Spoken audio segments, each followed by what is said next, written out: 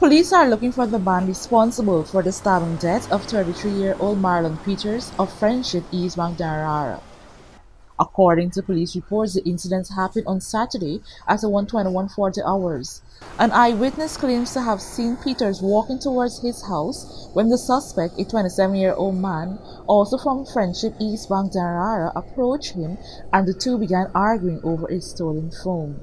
As Peters neared his home, the suspect followed Peters and stabbed him with a knife to the upper abdomen and the right upper back. After Peters fell to the ground, the suspect escaped into some nearby bushes. Peters was taken to the Diamond Diagnostic Center where he was pronounced dead on arrival. For Channel 2 Headline News, Esther Sobers.